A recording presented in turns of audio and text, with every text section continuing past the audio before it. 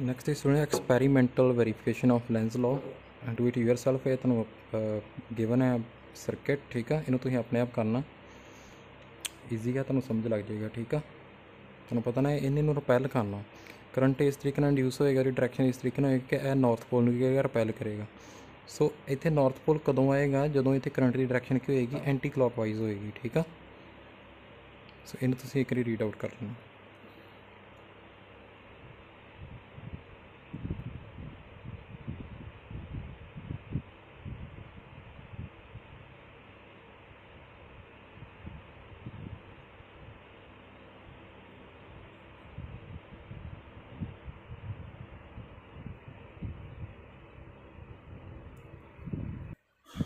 Next is Lenz law and energy conservation ਠੀਕ ਆ?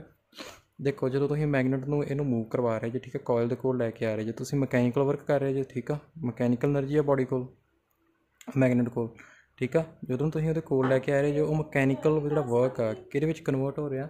Electrical energy ਕਿਉਂਕਿ ਇਹਦੇ ਵਿੱਚ ਕੀ ਹੋ ਰਿਹਾ? ਕਰੰਟ ਇੰਡਿਊਸ ਹੋ ਰਿਹਾ, ਠੀਕ ਆ? ਜਦੋਂ ਇਹਨੂੰ ਕੋਲ ਲੈ ਕੇ ਆਉਂਦੇ ਜੇ ਇਹ ਤੇ ਇਹਦੇ ਅਗੇਂਸਟ ਵਰਕ ਕਰਦਾ ਠੀਕ ਹੈ ਜਿਹੜਾ ਕਰੰਟ ਇੰਡਿਊਸ ਹੁੰਦਾ। ਜਦੋਂ ਇਹਨੂੰ ਦੂਰ ਲੈ ਕੇ ਜਾਂਦੇ ਜੇ ਫਿਰ ਇਹਨੂੰ ਅਟਰੈਕਟ ਕਰਨ ਦੇ ਵਿੱਚ ਵਰਕ ਕਰਦਾ ਠੀਕ ਹੈ energy conservation mechanical electrical energy ਚ ਕਨਵਰਟ ਹੋ ਰਹੀ ਹੈ ਇਲੈਕਟ੍ਰੀਕਲ ਫਿਰ ਮਕੈਨੀਕਲ એનર્ਜੀ ਕਰ ਰਹੀ ਹੈ means overall the energy is being transformed only so energy is conserved next is fleming right hand rule this rule is used to find the direction of uh, induced current in the coil okay? It's बहुत simple है।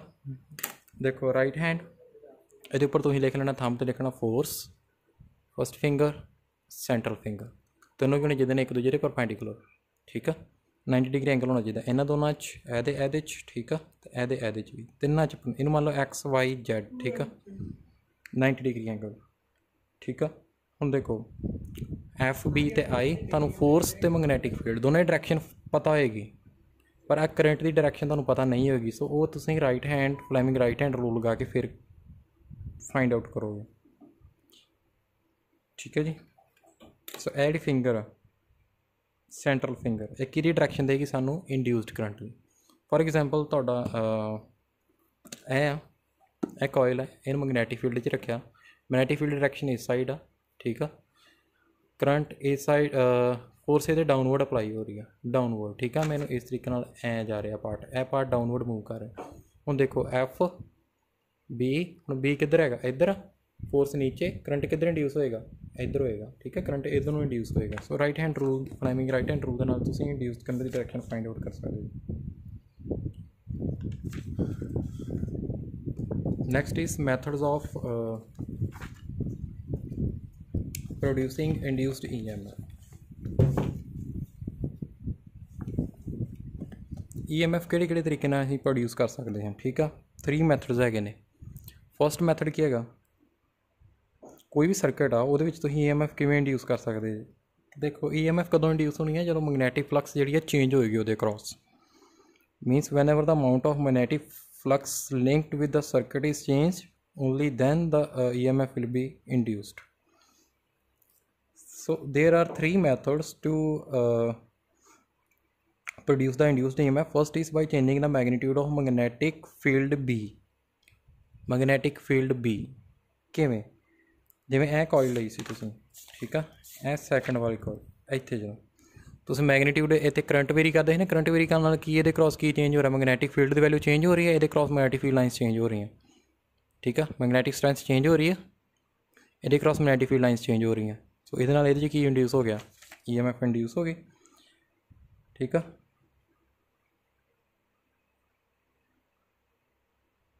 ਜਾਂ ਤੁਸੀਂ ਕਹਿ ਸਕਦੇ magnet ਦੇ ਜਦੋਂ ਟਵਰਡ ਲੈ ਕੇ ਆਓਗੇ ਕੋਇਲ ਕਰੰਟ ਇੰਡਿਊਸ ਹੋ ਜਾਏਗਾ ਵੇ ਲੈ ਕੇ ਜਾਊਗਾ ਕਰੰਟ ਫਿਰ ਇੰਡਿਊਸ ਹੋਏਗਾ ਬਟ ਡਾਇਰੈਕਸ਼ਨ ਰਿਵਰਸ ਹੋ ਜਾਏਗੀ।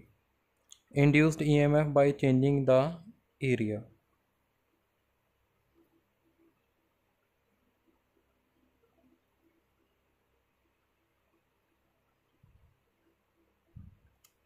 ਇਹ ਆਪਣੇ ਕੋਲ ਕੋਇਲ ਆ, ਠੀਕ ਆ?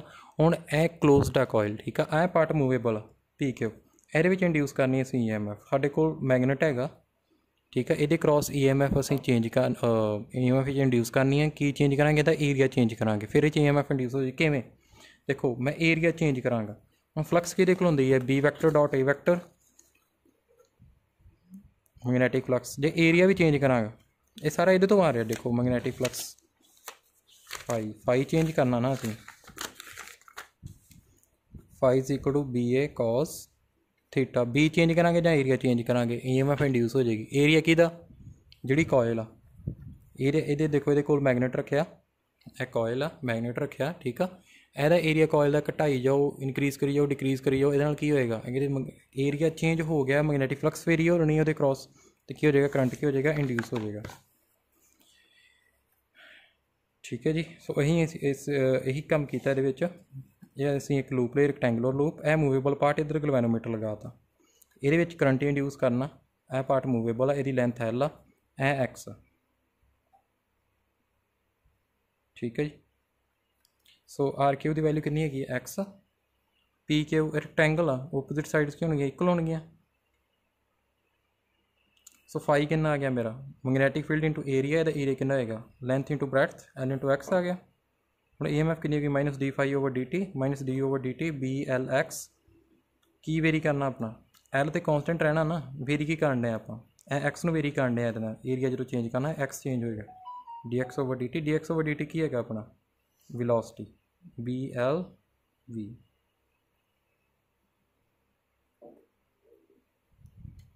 ਇਹ ਲੈਫਟ ਵਾਲਾ velocity, ਠੀਕ ਆ?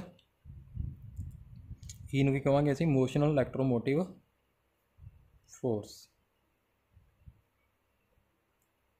ਨੈਕਸਟ ਹੈਗਾ ਅਲਟਰਨੇਟ ਮੈਥਡ ਅਲਟਰਨੇਟਿੰਗ ਮੈਥਡ ਕੀ ਹੈਗਾ ਜੀ ਅ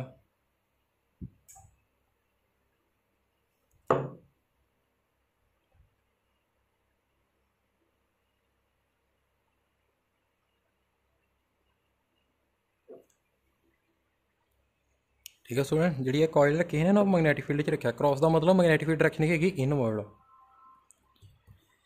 ਹੈਗੀ ਇਨਵਰਡ ਠੀਕ ਆ? ਦੇਖੋ ਨੈਕਸਟ ਅਲਟਰਨੇਟ ਮੈਥਡ ਕੀ ਹੈਗਾ ਕਿ ਅਸੀਂ ਇਹਨੂੰ ਕੀ ਕਰ ਰਹੇ ਹਾਂ? ਚਾਰਜ ਕਿਊ ਨੂੰ ਮੂਵ ਕਰਵਾ ਰਹੇ ਹਾਂ ਪੀ ਕਿਊ ਦੇ ਲਾਉਂਦੇ ਇੱਥੇ ਚਾਰਜ ਕਿਊ ਪਿਆ। ਇਹ ਮੂਵ ਕਰ ਰਹੀ ਹੈ ਕੋਇਲ ਠੀਕ ਆ? ਇਹ ਜਦੋਂ ਮੂਵ ਕਰੇਗਾ ਕੰਡਕਟਰ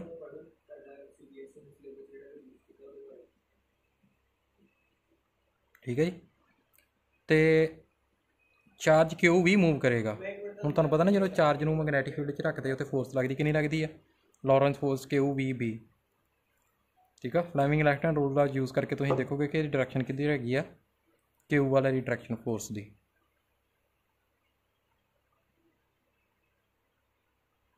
ਠੀਕ ਹੈ ਜੀ? ਹੁਣ ਵਰਕ ਡਨ ਕਿੰਨਾ ਹੋਏਗਾ ਚਾਰਜ ਨੂੰ ਪੀ ਤੋਂ ਕਿਊ ਮੂਵ ਕਰਨ ਲਈ? ਪੀ ਤੋਂ Q force into displacement force ਹੈ ਕਿ ਕਿਊ ਵੀ ਡਿਸਪਲੇਸਮੈਂਟ ਕਿੰਨੀ ਹੋਗੀ ਐਲ ਹੋਗੀ ਨਾ ਇਤੋਂ ਇਧਰ ਨੂੰ ਮੂਵ ਕਰਾਉਣਾ। ਸੋ ਈਐਮਐਫ ਕੀ ਹੈਗੀ ਆ? Work done per unit charge ਇਹਨੂੰ ਕੋਈ ਨਾਲ ਡਿਵਾਈਡ ਕਰ ਦਿਓ ਵਰਕ ਡਨ ਨੂੰ। ਕੀ ਆ ਜੀ ਕਿ ਤੁਹਾਡੀ ਈਐਮਐਫ ਪੜਿਆ ਨਾ ਈਐਮਐਫ ਤੁਹਾਡੀ ਪੋਟੈਂਸ਼ੀਅਲ ਡਿਫਰੈਂਸ ਹੀ ਹੁੰਦਾ ਵਾ।